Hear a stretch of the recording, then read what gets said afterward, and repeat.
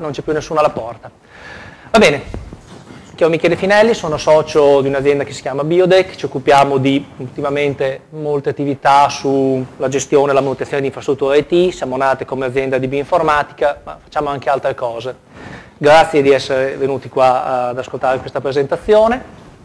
E talk sarà su un argomento relativamente nuovo, nel senso che il movimento DevOps ha qualche anno di vita, e mm, vi voglio presentare un po' la storia del, del, movimento e alcune cose per come le ho capite io e per come secondo me possono essere applicate eh, diciamo, nelle aziende, soprattutto nelle aziende che vorrebbero avere modi un po' più moderni di eh, fare alcune cose. Quali cose adesso lo vediamo nel dettaglio. E allora, questa è un po' la, la scaletta della presentazione. Per prima cosa partiamo da quella cosa chiamata cloud.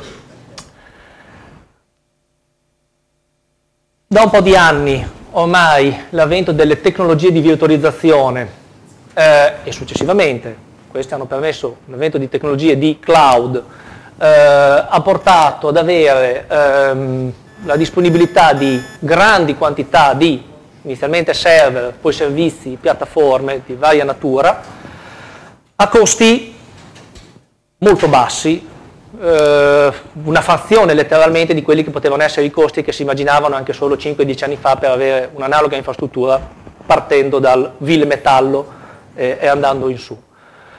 Ehm, qual è secondo me il nocciolo del fatto di avere mh, mm, per la propria azienda l'infrastruttura IT basata su cloud e virtualizzazione? Eh, il fatto che abbiamo eh, delle nuove eh, complessità che sono delle complessità che derivano dal fatto che la nostra infrastruttura è un'infrastruttura distribuita.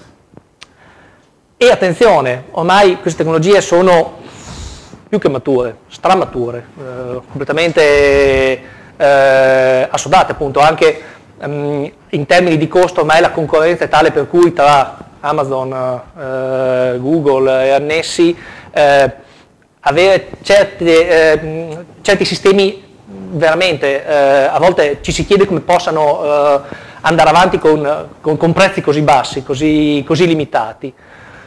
Cosa succede se noi non abbiamo eh, gli strumenti che ci permettono di gestire questa infrastruttura distribuita, questa infrastruttura così diversa dall'infrastruttura che poteva avere dieci anni fa in un, chiamiamolo ancora con il termine vecchio, in un CED, un'azienda, no? Brando sorride la parola CED. Beh, eh, niente, o se non hai sono metadati non la controlli nel modo adeguato, oppure per paura della novità non sfrutti adeguatamente tutte quelle potenzialità lì. Una brevissima parentesi.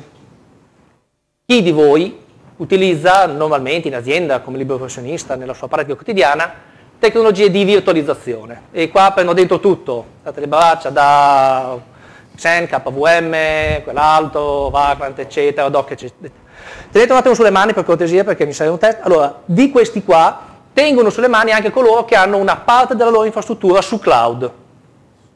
Infrastruttura su cloud vuol dire che se il vostro server va giù, arriva una lettera, una mail a cui dice il sito non risponde, c'è un problema e quant'altro. Ok, alcune mani sono rimaste su, ma decisamente di meno. Eh? Ci torniamo dopo, ci torniamo dopo. C'è qualcuno che per caso avrebbe alzato la mano soltanto in questo secondo scenario e non usa assolutamente soluzioni di virtualizzazione, cioè ha solo e soltanto tutto su cloud? Ok. Comunque ci sono alcune persone che le mani, per svariate ragioni, e dopo ci torniamo sopra, non le hanno alzate. Qual è un altro punto? Per erogare servizi sempre più innovativi, competitivi e quant'altro, la vostra infrastruttura non sarà soltanto distribuita, ma sarà sempre più grande in termini di se vogliamo unità di misura banale, proprio il numero di server, il numero di, di oggetti che stanno su cloud. E eh, quando aumenta la dimensione, e questa è una cosa che ha toccato anche eh, Steve nel talk di prima, eh, quando ti cambi il contesto, pensare con la soluzione di prima nel contesto diverso non va bene, devi, devi cambiare il tuo mindset. Eh, adattare nel large infrastructure, large data, anche tutti i termini che vanno di moda, quello che si fa, si faceva nel piccolo, ipotizzando che è soltanto un fattore di scala, non è una buona strategia perché purtroppo, purtroppo non funziona. Chiudiamo la premessa sul cloud e iniziamo a parlare di DevOps. Faccio una breve eh, mh, mm, eh, presentazione di come si è arrivati a questo eh, movimento che ho preso da una presentazione che ho trovato in rete di persone che hanno partecipato di queste iniziative fin, da, fin, da, fin dai primi momenti. Eh, si fa partire da um, un soggetto che si chiama Patrick Debois, che è poi quello che ha lanciato i, i DevOps Days, che è questa linea di eh, MI, di conferenze, che ormai eh, da tanti anni che si svolge un po' in tutto il mondo. Nel 2007 lui si trova a svolgere un lavoro che magari molti di noi hanno svolto nel 2007 o addirittura anche prima, insomma, in cui facevano attività ibride, un po' da programmatore, un po' da amministratore di sistema, con tutti i limiti e i problemi del caso, no? che ti senti né carne né pesce, sei, prendi sempre il peggio da entrambe le parti perché tu sei sistemista tra i programmatori, ma in mezzo ai sistemisti tu sei quello un po' particolare, per cui non, non, non, è, è, non è, chiaro che, che, cosa stai facendo. Ad Agile 2008 un altro soggetto che si chiama Andrew Schaefer eh, racconta di aver proposto durante gli open space fare una sessione su Agile Infrastructure, siamo ad Agile 2008, voglio dire, già il manifesto è di dieci anni prima, una conferenza abbastanza grandina, internazionale, insomma Agile Infrastructure magari un tema che può interessare, lui si trova un pilo davanti alla flipchart, non arriva nessuno, proprio un tema centrale. Il primo talk, presentazione, la trovate su YouTube senza problemi, dalla quale si fa eh, partire anche proprio l'idea di usare questo termine DevOps, è il talk che dà John Osborne, che racconta noi in uh, Flickr riusciamo a deployare in produzione non una volta ogni tot mesi, non tutti i giorni, ma più volte al giorno, 10 più deploy al giorno, cooperazione tra Dev e Ops. Il 30 e il 31 ottobre 2009, quest'anno ci sarà il DevOps Days del quinquennale, a Ghent viene fatta la prima edizione di questa conferenza che, eh, che poi diventa un po' il motore degli incontri eh, di questa comunità. Hashtag DevOps è quello sul quale trovate annunci, chiacchiere e quant'altro su Twitter, eccetera. Una cosa interessante è che eh, non è che viene definito in termini precisi cosa si intende esattamente. Cioè, intuitivamente ha, ha senso anche perché appunto è la crasi di questi due termini, quindi development operations, già un po' insomma dove andare a parlare si capisce, però si iniziano a svolgere meeting, conferenze e quant'altro liberamente, senza che ci sia l'equivalente, se vogliamo, di un agile manifesto con regole e principi ben definiti. La gente si trova, inizia a parlare, più di 50 eventi fatti in 5 anni, migliaia di persone, di cosa parlano? Le persone a questi, eh, a questi eventi, a queste iniziative. Parlano di fare gestione delle infrastrutture, gestione dell'IT moderna. Parlano di tecniche e strumenti per eh, gestire infrastrutture grandi. Quindi ci trovano le persone che stanno in Amazon, Twitter, Spotify, GitHub, eccetera, eccetera, dove i server li contano a migliaia Chiaro, è uno scenario diverso da quello di un'azienda tradizionale, ma attenzione, forse in prospettiva futura non poi così incredibilmente distante. Parlano di come provare a eh, dare eh, valore alle aziende in modo tramite eh, la, eh, la messa in produzione di codice in tempi sempre più celeri, in modo sempre migliore. Si tenta di capire quali possono essere le strategie per superare il uh, gap, la, la, distanza che c'è tra il mondo uh, di chi fa sviluppo software e l'operation.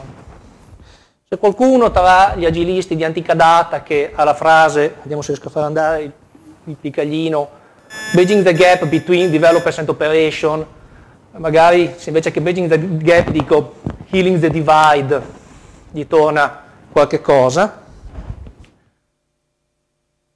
Nel 2001, dice Bob Martin, ci siamo trovati, abbiamo pensato un po', abbiamo deciso il nome Agile, il nome Agile ha quattro principi, ma il prime goal, così dice Kent Beck, è to heal the divide between business and development. 13 anni fa. Poi, non vi sto a tediare, il movimento agile di questi anni, cosa ha portato, cosa ha portato, eccetera. Io personalmente la vedo come una conseguenza di queste idee. Oggi, se, oggi insomma, 2011 è già passato, vabbè, iniziano ad esserci anche pubblicazioni, se vogliamo, formali, quelle che vengono lette da chi sta nei CED, da quelli fotografati sulle copertine di IT Manager, dove tipicamente si tengono sempre inspiegabilmente il mento. Uh, nel... Tu? A me non mi hanno mai fotografato così sono un, un po' mi manca. Comunque oh, Gartner dice questa roba qua che parte come una cosa di nicchia nel 2015, che se non ho portato male da domani sono poi 80 giorni e ad oggi, quindi non è tutta sta sfilata di tempo, verrà adottata in più di un quinto delle aziende che stanno in questa categoria Global 2000, quindi insomma le 2000 aziende più grandi, immagino come fatturato, comunque sono tra le più grandi come fatturato anche come personale, eccetera, eccetera, eccetera. Va benissimo. In Italia cosa è successo? In Italia io ho partecipato nel 2012 a questa iniziativa molto bella fatta a Roma eh, con la collaborazione di Patrick Debois e un team locale, eh, c'erano un po' di persone, di questi 200 partecipanti se non vado male eh, ricordando mi, mi, sembra che 150-160 fossero dal resto dell'Italia, locali eravamo veramente pochi, da lì parla, parlando con le persone che ho incontrato giù, ho detto, beh dai, insomma, non è che abbiamo bisogno che venga uno da Ghent per organizzarci una conferenza, insomma, siamo abbastanza capaci di farlo anche da soli. Abbiamo fatto prima una cosa piccolina qua a Firenze, in piazza Nigoni, nella sede di Dada, che quel, quell'anno lì nel 2013 ci ha ospitato. L'anno scorso l'abbiamo fatta a Bologna, sempre più gente è venuta a partecipare, adesso vediamo cosa si riesce a pensare per l'anno prossimo. Ok, vabbè, diamo, tentiamo di dare una definizione di DevOps a parte il fatto che appunto contiene questi due termini nella sua, vera, uh, nella, nella, sua, uh, nella sua, frase. Uh, queste sono mie idee molto personali anche perché mh, appunto non c'è un, non c'è un libro, non c'è un, blog, non c'è un post, un talk, un keynote di qualcuno in cui viene detto DevOps è questo e quindi quest'altro non lo è ci sono varie idee, varie persone che, che la vedono in modo simile ma a volte anche un, un po' diverso. Per me è ancora un putpurri, quindi è un qualcosa che mescola, uso volontariamente proprio il termine agile stuff, perché sono tante cose che vengono dal mondo dell'agile, idee e tecniche dalle metodologie lean, molte caratteristiche delle comunità eh, che hanno le comunità eh, del software libero. Per chi di voi ha uh, partecipato, ho fatto prima nei Latin Talk una presentazione bella di eh, San Marchi come membro di, della comunità Ubuntu, insomma per chi di voi per passione, per lavoro e quant'altro ha partecipato di comunità del software sa che ci sono alcuni, alcune idee, il fatto di condividere quello che si va a realizzare, di utilizzare appunto chiaramente codice eh, libero, standard aperti, eccetera e altre cose, perché appunto questa cosa sta un po' nella testa delle persone, a seconda da, eh, da dove vengono, da qual è il background, ok? Da chi è molto nell'ambito, chi è nell'ambito dell'operation, del management, dello sviluppo e così via. Che cosa non è DevOps è molto più facile da definire, perché eh, DevOps non è una certificazione. Se qualcuno vi vende un corso dove c'è un titolo DevOps master, no? DevOps Certified Trainer, senza nulla togliere a chi eh, merito chi lo fa in altri ambiti, quella cosa lì è inventata. Non è un uh, titolo che trovate in un biglietto da visita, sì, te lo puoi mettere, però non, non ha molto senso. Non è uno strumento software in particolare o una suite di, di, di software, di, di tecniche, so, di, programmazione, di linguaggi, di, librerie. No, eh, non, è non, è definito dal fatto di eh, fare qualcosa di quel, di, di, quel, quel, tipo lì. La la, ciò che va più vicino a una definizione eh, di DevOps sta in uh, un acronimo uh, che è CAMS, dalle iniziali di uh, cultura, automazione, misura, misurazione, e S per sharing, cioè condivisione. Primo punto. Primo punto dice, eh, per noi il movimento DevOps deve avere come obiettivo quello di creare una cultura della collaborazione. Sapete tutti che gli aspetti culturali, organizzativi, sociali, anche politici sono difficili da raggiungere, no? non esistono soluzioni tecniche a problemi politici, a problemi sociali. Sarebbe bello, ma non funziona. John Willis, una delle persone che ha partecipato fin da subito ai primi DevOps Days, eh, molto ha scritto su, su blog e altro, dice una cosa che potrebbe venire da un qualunque eh, talk fatto in un meeting agile. People and process first. Eh, se non avete una cultura di divisione, eccetera, eccetera, eccetera, basarsi solo sul fatto di automatizzare, eh, automatizzare tutto, quindi l'infrastruttura, la gestione, il monitoraggio, eccetera, non è, eh, non è una cosa che può durare del tempo. Punto 2 però, passiamo da cose, se vogliamo, più tecniche, più concrete, un, un caposaldo dell'approccio DevOps è quello di automatizzare tutto. Tutto vuol dire che se avete che può essere svolta da del software, allora deve essere svolta, lo si deploy e lo si esegua. Come dice la Bibbia, tutto il software nasce uguale sotto al sole, tutto il software è uguale nel creato, non so in che libro, ma lo dice sicuramente. Se è un programma è un programma di sistema, quindi un qualcosa che integra cose che stanno su server e non è un'applicazione di front-end e non usa l'ultimissima libreria JavaScript inventata stanotte, non è un programma di serie B, è un programma che fa altre cose, un programma deve essere scritto in un certo modo. Non, non, non è che perché quelle cose lì, diciamo, di sistema, in ambito operation, tu quel codice lì non lo tieni versionato, non ce l'hai testato, non lo, banalmente appunto, gestisci e sviluppi come tutti gli altri, ok? Corollario, amministratore di sistema, non è un insulto, non è una parola, grazie, eh? È brava, adesso ci arriviamo alla fine dei sistemi, brava, brava, infatti qua nella barcaccia abbiamo una fronda che ha già capito dove andiamo a parare. Bene, bene, non ci scapperanno.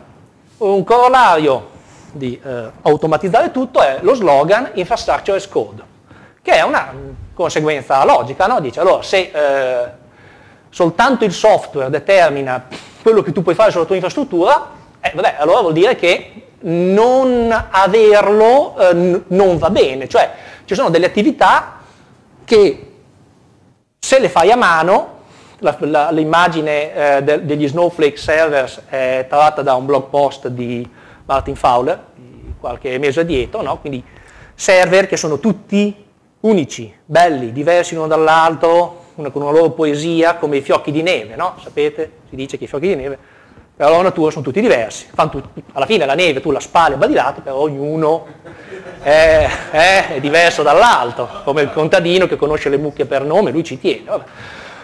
No. Eh? Sì, non è accettabile che le cose accadano cliccando sull'interfacce di qua e di là, senza sistemi di versionamento, senza sistemi di change management, non è accettabile che arrivi della gente che arriva, lancia un incantesimo, le cose vanno, loro scompaiono, tu quella roba là non toccarla a me più per l'amor di Dio, perché se poi smette di funzionare dobbiamo chiamare uno che vuole dei soldi. Tutte queste cose non sono accettabili perché ognuno di questi punti non è codice che fa, è uno che clicca, uno che tocca eh, e eh, varianti sul tema. Punto 3, l'aspetto della, misura, della misurazione, della misura. Si misurino tutte le parti, tutte le componenti di un'infrastruttura. Ovviamente il monitoraggio, scusate, uso questo pessimo termine, questo anglismo, non è una cosa inventata dalla comunità DevOps, qual è la novità dell'approccio? È che il monitoraggio va affrontato in modo eh, sistemico.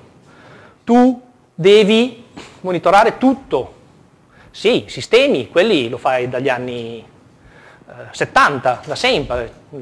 l'RFC che definisce l'SNPV, se non sbaglio, è dell'86 dell'87, ma anche le application, la rete, stanno tutti insieme tutti i dati devono essere disponibili per tutti. Mi sarà capitato nelle aziende che grafico che, che, che, eh, che traccia il load del server lo si può vedere solo da un'interfaccia che hanno i sistemisti perché è i sviluppatori, ma manco ce l'hanno quel software lì, è la licenza, cosa pago? Dei soldi per un software, ma che se ne frega te del, di quanto è il carico di un server, no? Niente, quindi avanti.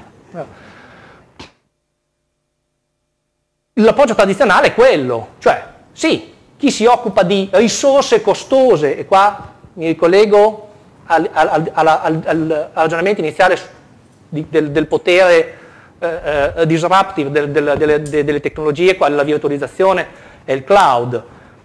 Vent'anni fa, se comprare un server di un certo tipo equivaleva come investimento a pagare lo stipendio di una persona per un anno, era chiaro che forse valeva la pena avere un badante che gestisse quelle risorse in modo ottimale e quindi ci si poteva anche porre il fatto che chi faceva quello di mestiere non faceva altro e viceversa. Ma se oggi una macchina virtuale ti costa 5 dollari al mese, porsi il fatto che quindi la tratti come trattavi il server 10 anni fa, non ha tanto senso. Forse adesso sono proprio cose differenti, 5 dollari per un'azienda, cos'è? Niente. Eh, due chiacchiere davanti alla macchina del caffè, tac, resto mezz'ora, e 5 dollari li hai fumati di quel po'. Viceversa nel mondo dello sviluppo non è che lo sviluppatore poi se ha bisogno di tracciare quello che fa l'applicazione non fa nulla. C'è un'applicazione, log4net, log4j, butta tutto in un file, cazzo da qualche parte, lo pesta quando cresce di dimensioni. Bah, cresce di dimensioni? Sì, c'hai 100 mega di log, ah Dio buono, vabbè allora lo ruotiamo, lo tagliamo a 10, poi lo buttiamo in una buca, zippalo, ammazzati. No, non va bene, cioè non va bene, sì puoi farlo, ma... Chiami il sistemista e dice, ma... Eh, per... Ah, è del mondo, vero? Eh, esatto, proprio così. Punto quarto, la condivisione. Condividere il risultato di un progetto, un obiettivo, le pratiche, le tecniche tra team che hanno ruoli e quindi responsabilità diverse eh, nell'azienda è un punto focale. Perché? Perché chiude il, è, è, è, è, il momento in cui il ciclo ti dà il feedback. Quindi ti permette di creare la cultura nella quale le persone riescono a prendere dentro le pratiche che vengono da ambienti che formalmente sono lontani e disparati, ma invece nella realtà non lo sono, danno, danno, danno valore aggiunto. La catena di implicazioni di questi quattro punti, secondo me, è che se tu parti dall'ipotesi che veramente solo il codice definisce l'infrastruttura, che ogni azione su un'infrastruttura per essere accettata debba essere automatizzata, cioè trasferita in codice, allora o tu l'infrastruttura la uh, tocchi programmaticamente o non la tocchi. Quindi, qua come nei film horror, tu ti svegli al mattino trasformato in programmatore, perché se no, perché ecco fai l'urlo del sistemista che si, che si sveglia programmatore, e, perché questa è la conseguenza logica, no? Questa è una conseguenza logica che però se un'azienda vuole portarla avanti inizia ad avere eh, conseguenze pratiche. Ok, quindi, quindi cosa faccio?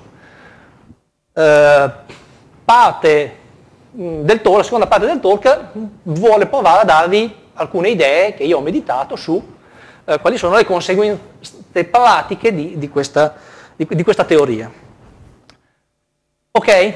Quindi abbiamo parlato, ma possiamo anche fare ciò che viene detto, ciò che ho raccontato uh, fino adesso?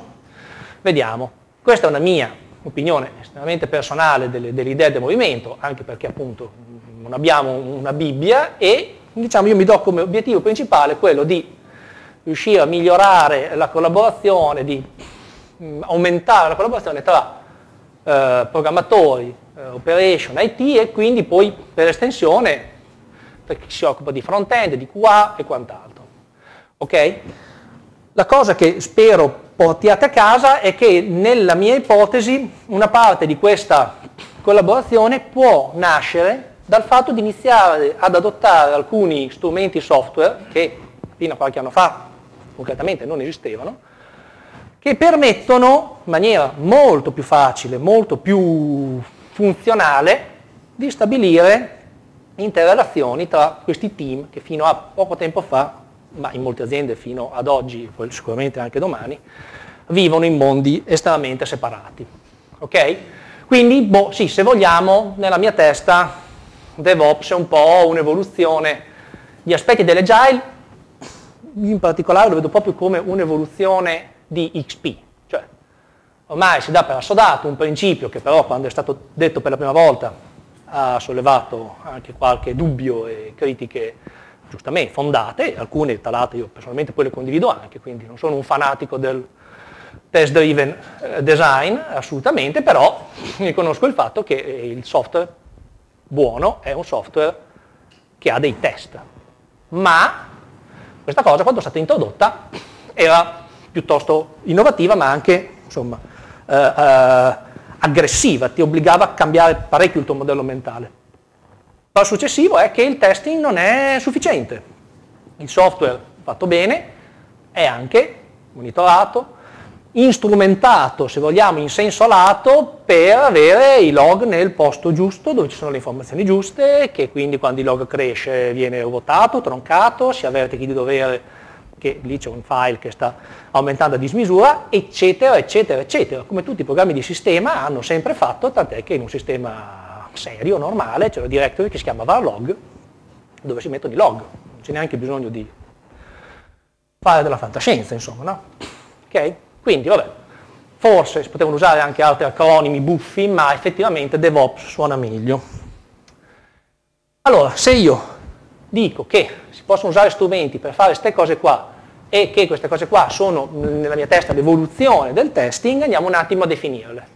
Quando noi abbiamo un sistema software sotto osservazione, abbiamo una componente, che è la componente del logging, che si occupa di eh, gestire gli eventi. Okay?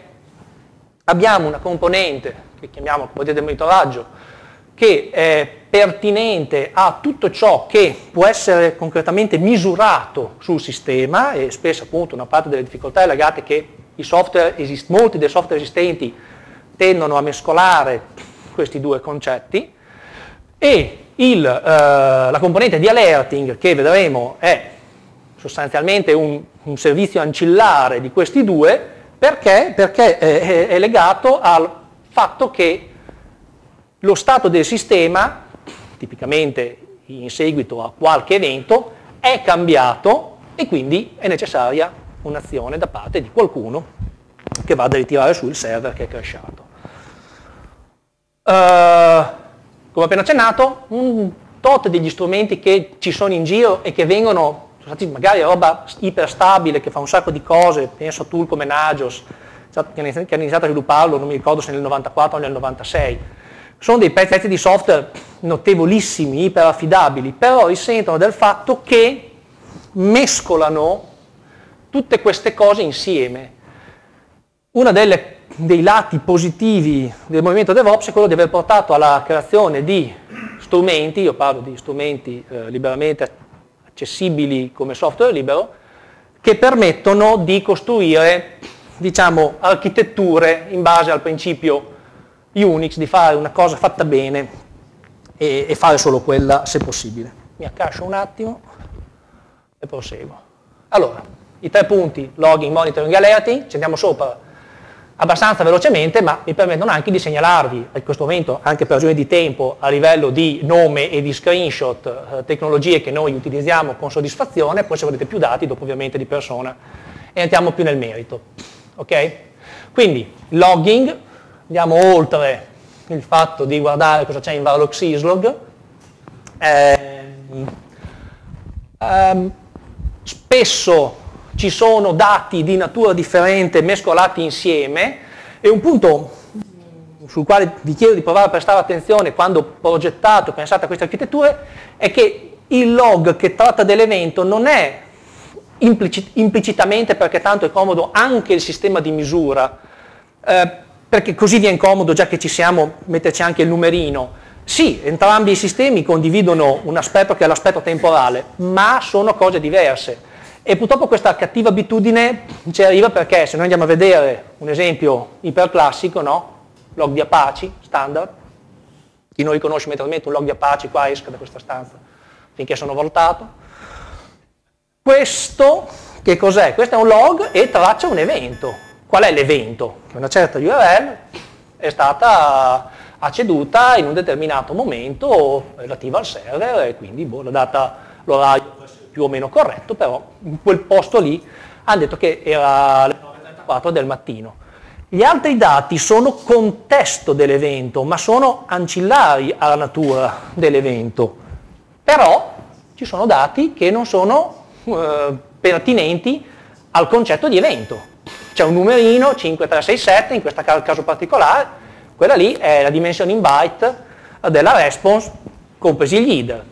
Perché? È perché è comodo, cioè log ce l'ho già lì, apri e buttalo dentro, che dopo se vuoi sapere quanto era grande quella pagina là c'è già scritto. Già che ci metti la dimensione, beh, mi cacci dentro per qualcos'altro. Track, un 302, quindi mi è dato un redirect, perfetto o no, beh dipende, e poi di conseguenza lo user agent, eccetera, eccetera, e, e questo è un log di Apache normalissimo, come immagino sappiate, lo potete estendere appendendoci un po' quello che vi pare, no? un mod page speed qualunque, lì avrei il tempo in eh, millisecondi, no, o micro, non mi ricordo mai, di quanto ci ha messo a renderizzare la pagina. Bellissimo, un altro dato numerico in un log di eventi. Ok, se non si può fare diverso, meglio che un calcio, però, visto che adesso esistono gli strumenti per poter tenere separati questi scenari, come appunto ogni buon programmatore gli dice, se abbiamo oggetti, classi, adesso non so qual è il sistema no, di progettazione software che preferito, che va più di moda da stamattina, e c'è una cosa che fa due cose insieme, fate due pezzi distinti, ok? Cos'è questo umorismo nei confronti, di bassa lega nei confronti del programmatore?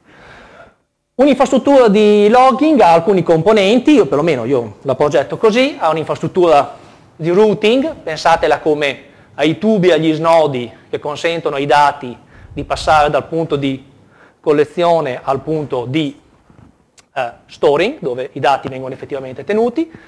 Eh, gli strumenti classici sono questi, no? le varie varianti su syslog, però per esempio se utilizzate un tool un po' più moderno come Greylog, questo per fare la parte di storing e anche indicizzazione si appoggia ad Elasticsearch. Cosa vi permette di avere? Vi permette di avere poi come componenti successivi per l'aggregazione, la visualizzazione e l'analisi dei contenuti delle interfacce, e penso più a Kibana che a Greylog, tra l'altro tra un po' dovevo rilasciare la 4, che sono decisamente più fruibili, più usabili, più facili di un grep o variante sul tema su un file di log, anche perché quando tu hai un file di log, ok, quando hai un po' di file di log nello stesso sistema, anche anche, ma quando tu vuoi raccogliere, mettere insieme e confrontare informazioni che stanno nei file di log di macchine diverse, potenzialmente ne hai sempre di più e le hai anche distribuite sull'infrastruttura, tu inizi a fare delle manovre, copi, apri, sposti, facciamo una direzione di lavoro, quindi quell'analisi che una volta con un grep ti passava anche velocemente, no? l'ho detto anche stamattina, eh, adesso mi ricordo chi, del noto, chi, eh, che facendo un po' di test con dei flat file, eh, grep andava come un terreno. E grazie al cazzo, cioè vorrei vedere il contrario, cioè di cosa stiamo parlando? Di un... vabbè.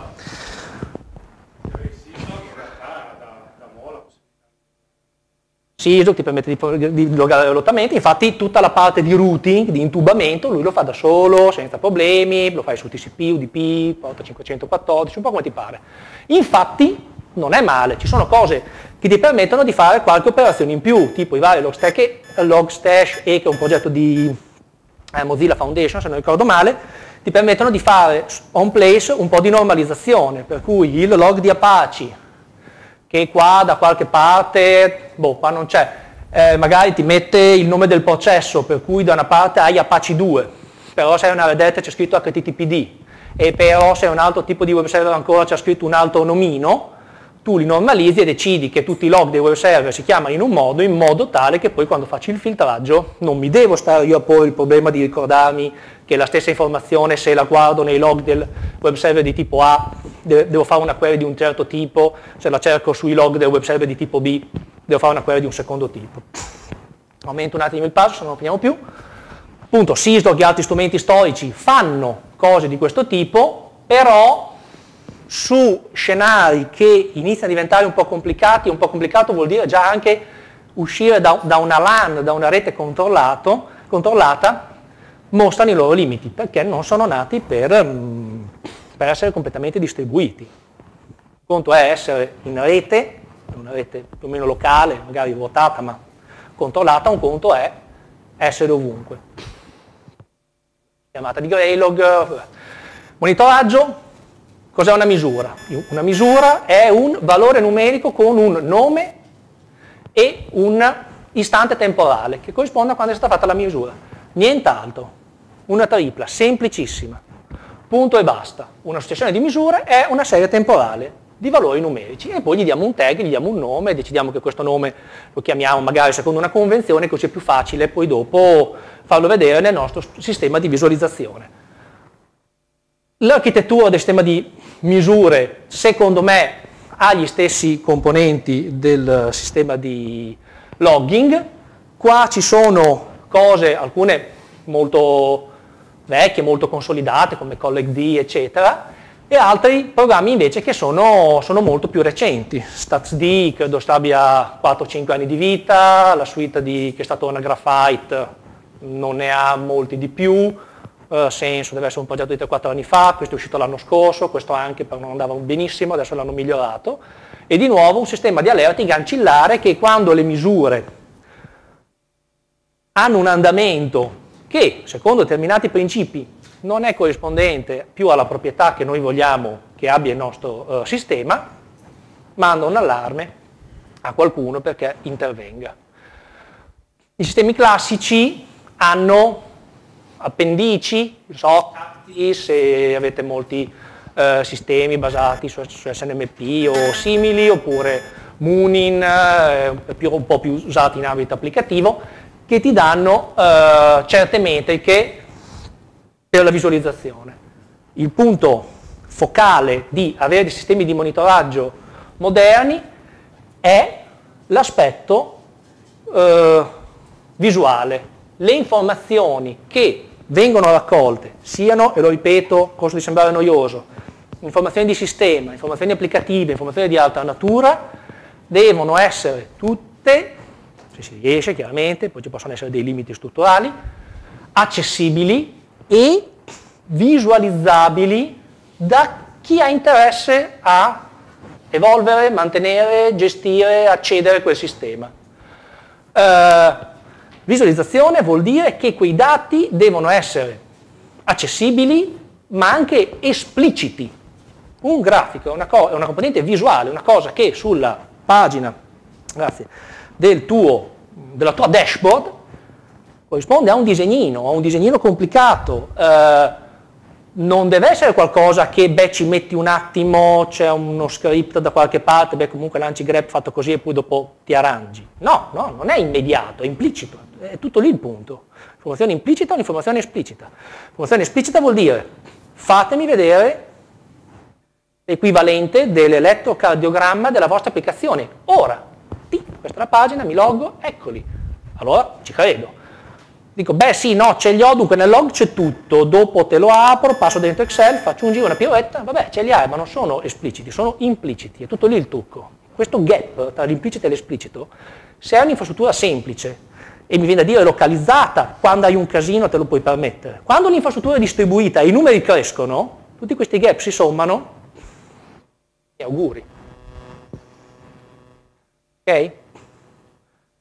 Di grafici vari, questo è un grafico vabbè, imperscrutabile che a me dà molta soddisfazione perché mostra il comportamento di un cluster RIAC seconda di quello che fa, importa, esporta cose e sotto stanno i load di svariate macchine in modo che anche proprio così da un punto di vista meramente di analisi eh, a sentimento, come se uno guardasse un quadro astratto, ti puoi fare delle idee se il tuo sistema sta funzionando in maniera adeguata o meno, ti chiedi perché c'è stata sta spike della Madonna senza che apparentemente capitasse niente, mentre invece vedi che per altre cose c'è stata una conseguenza graduale tra i due tipi di grafici e questo tipo di informazioni noi in Biodec le utilizziamo anche moltissimo ormai durante lo sviluppo. Cioè il codice opportunamente instrumentato, man mano che lo sviluppi, comunque va perché sta facendo i suoi test o funziona sui lasci che parzialmente svolgono cose.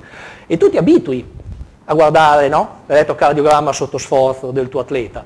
Quando fai una modifica e vedi un extra sistole ogni minuto, dici, cazzo ma, ti abbiamo committato ieri che sta morendo. E lo becchi subito, e tra l'altro becchi magari qualche cosa che passa tutti i test, perché non stavi testando quel comportamento, oppure certe cose mh, mm, magari sono relative a mh, mm, aspetti di performance che anche proprio come natura del test da fare sul codice sono non banali, sono più facili da guardare qua che impazzire a scrivere 6.000 test, secondo me, poi io. uno s'arrangia.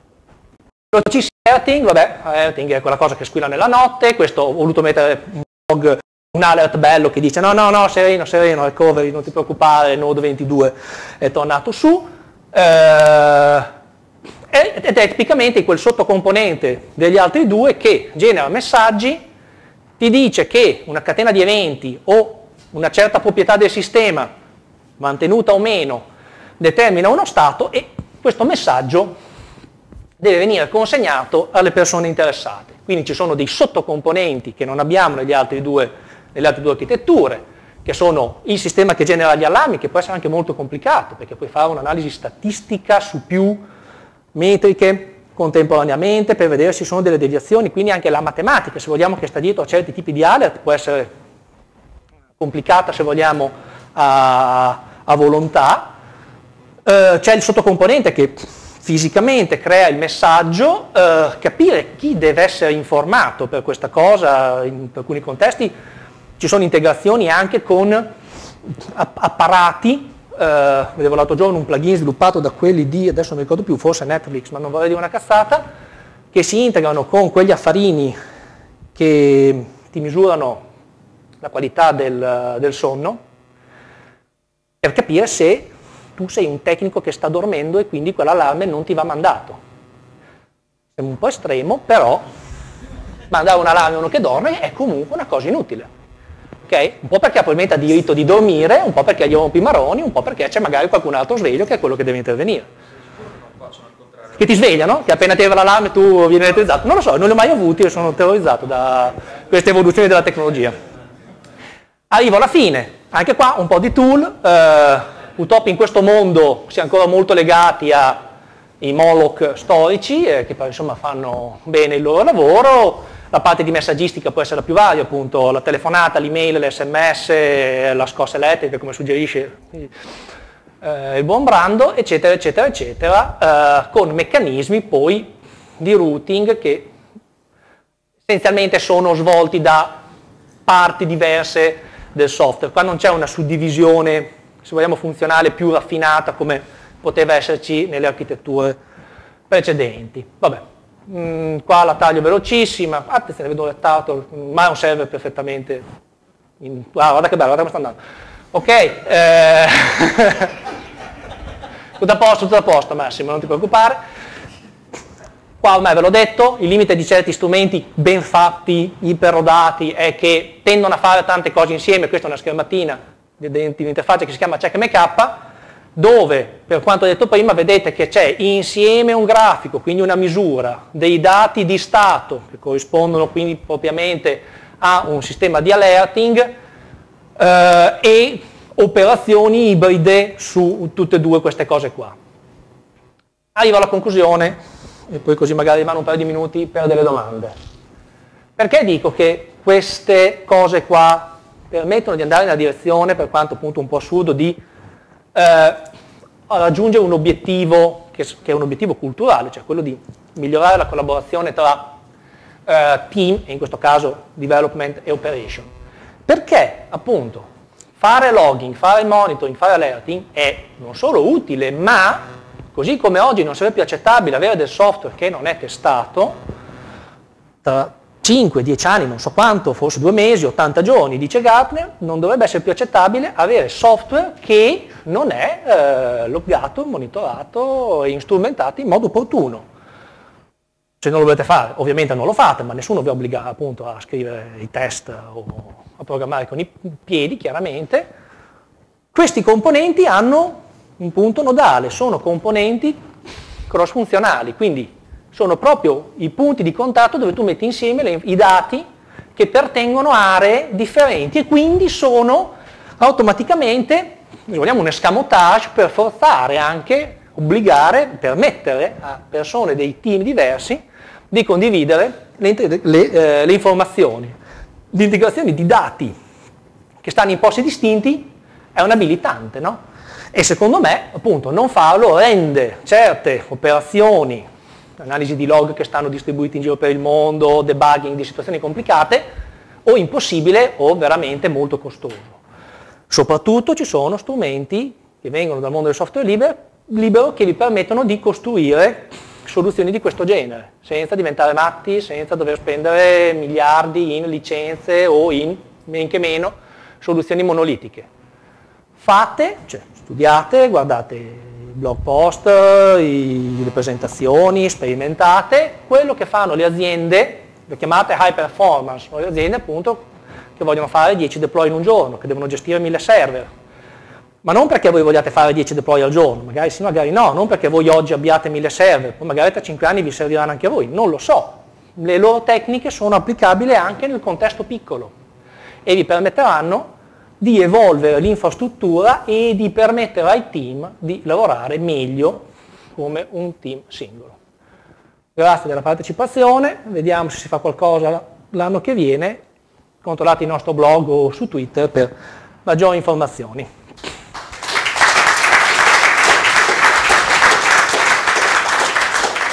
Se qualcuno ha una domanda o due direi no, che 5 minuti ci sono, poi vedo già Brando che parte come una lonza. Io mi accascio un attimo.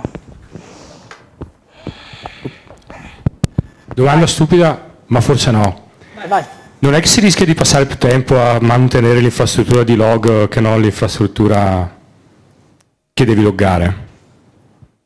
Cioè, tutti questi tool tutti hanno l'aria di avere un costo di comunque manutenzione anche, eccetera, eccetera. Sì, è vero, ed è, e secondo me si applicano gli stessi ragionamenti che applichi, eh, se io ti ribalto la domanda, no, ti dico ma tutti questi unit test, Dio buono, cioè, qua, è che se la cacciano via è meglio così, non è mai un po' verde un po' rossa, l'hai cacciata via. È un costo, quindi l'esperienza, anche, insomma, anche gli errori che uno fa sono volti a capire qual è quel limite per il quale sì, investo nuove energie nel costruire, nel badare questa infrastruttura, ma perché mi dà valore aggiunto e non costruisco magari un'instrumentazione che non ha neanche il Boeing, che a quel punto mi porta via più tempo dei casi in cui poi effettivamente me lo fa risparmiare. Però per me è lo stesso approccio mentale, cioè è un qualcosa di di più che fatto nel modo giusto, quando ne hai bisogno, poi ti ripaga del tempo che ci hai investito. Quindi sì, sì, bisogna avere occhio, oppure farselo, il rischio potenzialmente è lo stesso. Per me è la stessa cosa. Cioè per me è una misura è essenzialmente un test che viene fatto su base temporanea, poi ci può essere anche un corrispettivo nel codice che, che ti dice che quella chiamata di, di, funzione, di metodo così deve ritornare in 300 millisecondi, allora lo becchi anche con un test, ma vedere anche cosa fare il mondo reale, quando ormai i test li hai già passati, può darti delle informazioni ulteriori. Quindi sì, molte cose sono un test continuo nel tempo, non, non le vedo molto distanti. C'era lui forse? Passare davanti. Eh, la mia non è una domanda, volevo un po' condividere una cosa interessante che ho visto ieri anche per rispondere alla sua domanda. Dopo quello che ho visto ieri la risposta è no, cioè non si rischia di eh, come dire, overtestare.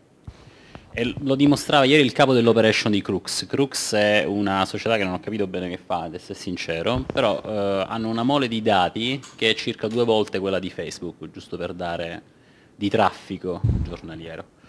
Lui faceva vedere come il sistema che hanno tirato su in monitoring con molti dei tool che hai, eh, che hai citato, è un talk recente, giusto? Perché mi sembra di aver visto l'hanno pubblicati due giorni fa, sì, ah, si chiama no, JOS, non mi ricordo come, però se cerchi Ho capito, ho capito chi è. No, no, bellissimo se quello che dico io, perché Fantastico. spiega tutti i vari tool, esatto. come si esatto. incastrano, come sì, li usano sì. loro. Bellissimo. C'è stata proprio una domanda, ma quanto tempo ci vuole per tirare su un sistema di monitoring del genere? Lui ha detto tre persone per due settimane e tutto più o meno stava su. È chiaro che erano tre persone, diciamo, mi ricordo.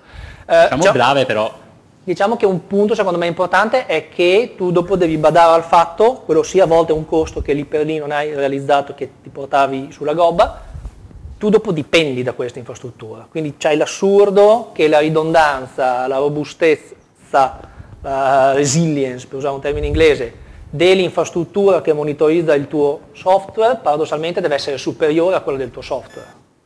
Se hai una failure nella tua infrastruttura e quella non cattura una failure del tuo software, no buono. Quindi tu devi mettere grosso sforzo, che a volte magari eri sottostimati, ti viene a dire anche, ma cazzo, mi conviene a me avere tutta sta roba iper duplicata, ridondata, che non lo faccio neanche per il mio software. E secondo me la risposta è fatta nel modo opportuno, anche sì, proprio perché la fai in un contesto standard, che non dipende dalle pattunie della tua applicazione, proprio per permetterti di avere un modo più semplice, una rete in più per tutta la tua parte applicativa, però è abbastanza vero quello che dici e, e, e il rischio, in parte il rischio che, che, che sollevava prima lui. Attenzione, vai, uno e due, poi magari chiudiamo e proseguiamo di là chiacchierando. Una domanda rapida più una curiosità. Quando hai fatto vedere l'elenco dei tool per il logging, ho visto... Aspetta che magari torni indietro. Se suggerivi Elasticsearch e poi tra parentesi... No, io non lo suggerisco affatto. No, vabbè, insomma, allora... vabbè, allora... allora. No. Greylog te diciamo, l'appoggia qualcuno... lì e te lo tieni. Va bene, qualcuno che ti ha fatto le slide però c'è scritto Elasticsearch. Tra Perché parentesi, è un componente di Greylog. with MongoDB. Cosa intendi with MongoDB? Che se tu usi l'installazione base di default, dopo lo usa fisicamente Mongo per i token sul quale ha fatto l'indicizzazione che usi poi nell'interfaccia web. Sì. Sì. sì. esatto. Quindi quindi è fatto così, insomma, tu devi sapere, cioè, l'ho messo perché eh, se vieni da un mondo nel quale i tuoi log ti dice syslog, syslog è un pacchetto, è un binario, c'è qualche file di configurazione, un altro tool che per fare qualcosa in più ti appoggi un front-end in Ruby o Rails che usa Elastic, che ha dipendenze da un pezzo di mondo Java della Madonna e ti appoggia anche di soppiatto MongoDB, Ecco, sappilo prima perché no, magari dici... No, no, lo usavo, però non sapevo stavo... si appoggiava a MongoDB, noi lo sì, usiamo certo. normalmente, sì, Elasticsearch, sì. ma... No, per Greylog. Eh? Per Greylog. Ah, per Greylog, per, ok. Oh, oh, ecco, mi mancava questo pezzo, ecco perché ignoravo l'esistenza di... Steve, che ho fatto? È scappato, vabbè. Grazie. Prego. Manda. No, no, era solo relativo al fatto di se usate Greylog 2 che fa tutte queste cose, occhio che vi ritrovate anche questi oggetti, bravo. Adesso... e l'ha è usato anche due. Ah, lo stesso, sì, sì, sì, sì, sì. No, no, no, no, no, no, è un altro modo di fare. E dopo usi Kibana come front-end. Sì, sì. Chi, chi, chi una domanda? Eh, volevo chiedere, secondo te permette di scrivere del software più consapevole di quello che poi si va a fare sul server? Nel senso che magari una volta, dato che poi il sistemista gestiva il server, diceva vabbè a fare del sistemista, adesso con una soluzione un po' ibrida si è un po' più consapevoli di quello che si va... Sì, cioè, ovviamente sì, il punto è proprio che la frase eh, tanto poi c'è il sistemista non ha senso, cioè... Sì, eh, capito? Non, è proprio questo il punto del, del, del, del ragionamento, cioè, eh, sono magari suddivisioni che potevano avere senso fino a un po' di tempo fa perché c'era tutta una questione legata a una gestione ottimale di risorse molto costose che adesso questo shift economico per cui non sono più risorse costose ma anzi sono le risorse che costano meno in assoluto perché con quello con cui paghi un virtuale in offerta paghi so, tre minuti di un developer e allora di cosa stiamo parlando? Già il fatto che te lo chiede tu gli dica di no e che ci i soldi di quello che ti stava chiedendo, fallo. Non, poi se c'è delle patune ci metti i dati finti, fai un, un progetto, uno spike, un qualcosa per riempirlo di anagrafiche, di topolinea e così non stiamo dando in giro i dati di chissà chi. ok? Quindi vuole superare un po' questa suddivisione perché secondo me non, non ha senso, non ha più senso. Ovviamente superare questa divisione è un aspetto culturale che col fatto di utilizzare dei tool 100% a poco, però magari i tool ti permettono di iniziare a fare questo lavoro di dimescolamento. Benissimo. La... le 4? Tempo che... per, un, uh, per, un, coffee break, grazie mille, grazie mille a, a Michele. Eh. Michele su Twitter lo trovate a fatica, anch'io, è Gaunilone, se non sbaglio. Mm-hmm, sì. eh, fa parte un po' tutto del mimetismo, no? anche il talk era di un'altra persona